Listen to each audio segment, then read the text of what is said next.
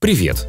Анастасия на Авито попалась очень подозрительная кукла. Дело в том, что это Чаки, оригинал. И судя по цене, в это несложно поверить. Но есть одна проблемка – оригинал покупать не требуется. Он приходит по ночам сам, совершенно бесплатно.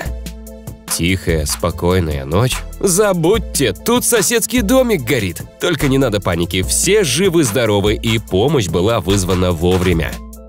Руслан решил показать нам, как выглядит адыгейский язык. Нужно признать, впечатляет. Произносить это слово вслух я бы не рискнул. Может, конечно, оно означает водопады, но выглядит как могучее заклинание. Но вообще Фактория одобряет знание любых языков. Михаилу встретился очень точный прибор, с помощью которого наши синоптики определяют погоду. Ну а что, камень мокрый – дождь, сухой – дождя нет. Особенно мне понравился вариант про камень исчез, который указывает на торнадо. А ведь не поспоришь ни с одним пунктом, словно капитан очевидность писал. Кто-нибудь знает, чем этот цветок так недоволен? Кажется, еще секунду, и он начнет возмущаться, что ходят тут всякие клумбы, топчут, цветочки без их согласия фотографируют.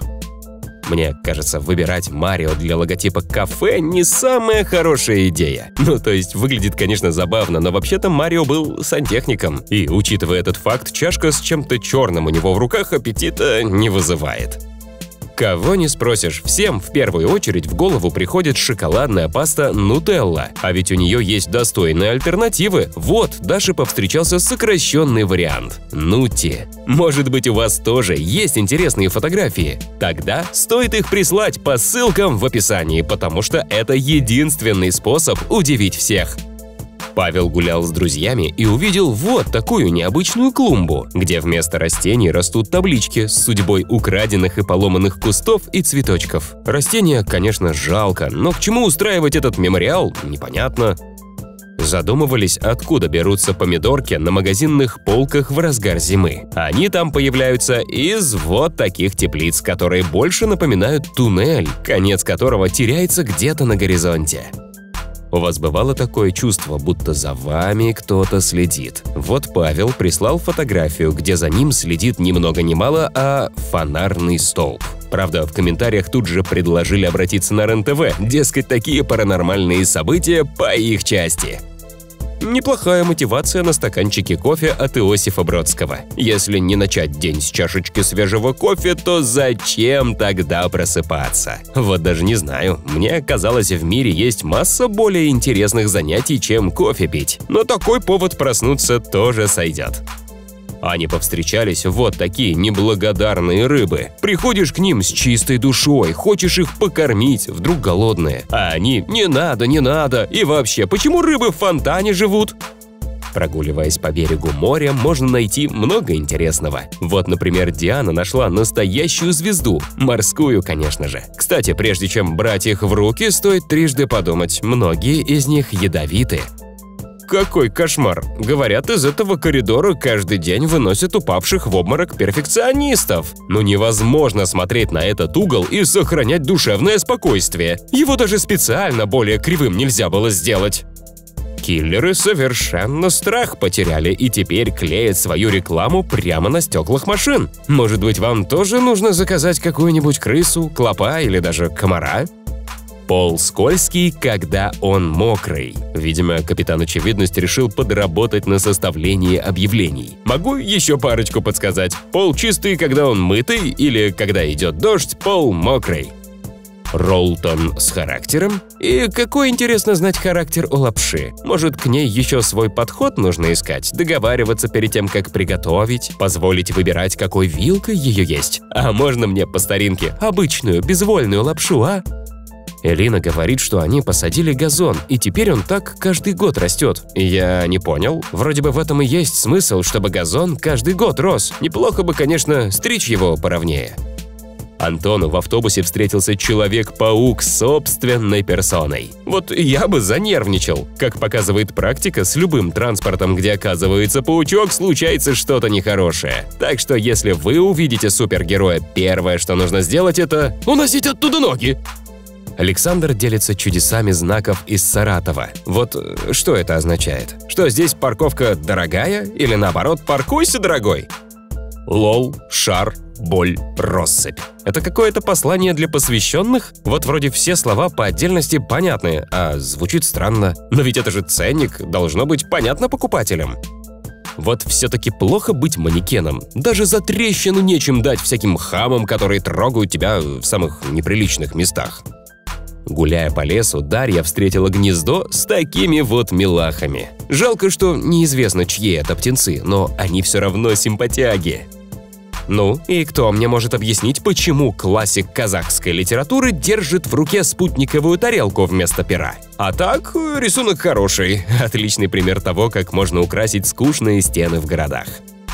Ну, если они пытались отпугнуть людей подальше от своего магазина, то у них это явно получилось. Вы только представьте, встретить эту жуть вечерочком в темноте... Внутри не грудь, но ты будешь рад. Я не знаю, кто этот маркетолог, что придумал эту упаковку, но вообще-то нормальных людей не радует грудь в пакетике, который привозит доставка еды.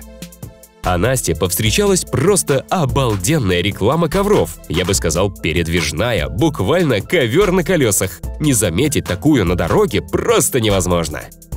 Вот всегда, когда эту дурацкую сетку на окна ставишь, боишься уронить ее вниз. А Миша прислал фотографию, как у кого-то случилась такая неприятность. Анастасия встретила в магазине вот такую конструкцию для проверки новой обуви. Но вы знаете, лучше бы они притащили кусок городского тротуара откуда-нибудь с окраины. Тогда тест получился бы правдоподобнее. Аня встретила просто отличный рюкзак, который решает проблему, если попыт не помещается внутрь. Этот рюкзак сам по себе попит. Его нельзя забыть, его нельзя потерять, и он всегда будет под рукой. Гениальное решение. Место для удара головой встретила в торговом центре Лина. Она утверждает, что место совсем не мягкое, она проверила. Эх, все-таки тяжело живется высоким людям. Валера заметил самую надежную противоугонную систему для велосипеда. Теперь-то его уже точно никто не украдет, ведь он пристегнут к ножке стула. Хотя Никита предположил, что хозяин велосипеда надеялся, что его не заметят, уж очень удачно он сливается со стеной. Ульяна в деревне нашла крошечные яйца, похожие на воробьиные. Увы, кто-то успел ими полакомиться до того, как из них вылупились птенцы. Чтобы на скамейках на вокзале было комфортнее сидеть, там устроили целую оранжерею. Ну да, а если поезд задерживается, можно успеть увидеть, как растения выпускают новые листья. Теперь это мой забор! Уходите!» Ну, по крайней мере, отдавать эту железку дерево точно не собирается. Вы тоже можете поделиться своими интересными фотографиями и впечатлить всех подписчиков Фактории. Только нужно не забыть прислать их по ссылкам в описании под видео. Держи прицел! Куда? В стену, что ли? Вы бы хоть там думали головой, когда мишень лепили? А то ведь прицелится кто-нибудь. Сергей увидел вот такое чудо и теперь мучается вопросом, это и есть само общежитие или только вход в него, а само общежитие подземное. Похоже, это кто-то пытался припарковаться без рук. Самое интересное, что у него получилось, просто выглядит это немного странно. Ну, совсем чуть-чуть. Вероника прислала отличный плакат, который стоит повесить на стену очень многим людям. Как мотивировать себя что-то делать? Да никак. Оставайся в жоп... Ну, в общем, там, где вы есть, там и оставайтесь. Ну, и чем думал человек, который устанавливал указатель на детский развивающий центр, который указывает прямиком на алкогольный магазин? Александр молодец, заметил эту глупость и не поленился сфотографировать. Да чего же хорошая футболка? Интересно, а в автобусе в час пик она сработает? Меня что-то терзают смутные сомнения, но попробовать стоит. Катя была немного шокирована, увидев столько мотоциклистов одновременно в одном месте. Возможно, у них там точка респауна или просто матрица подглючивает, как обычно. Иван с друзьями нашел настоящий клад. Кто-то выбросил целую коробку с диафильмами. Непонятно, у кого рука поднялась отправить такое богатство на свалку? Чебуречная? С чебурашкой на вывеске? Да вы чего, нельзя же из таких редких животных чебуреки делать! Какая интересная спецслужба, отдел по борьбе с усатыми телками. Ну, во-первых, фу как грубо, а во-вторых, как они с ними борются? Неужели насильно бреют?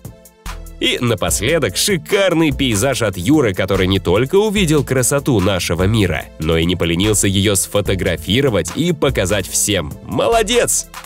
Выбери следующее видео для просмотра. Спасибо!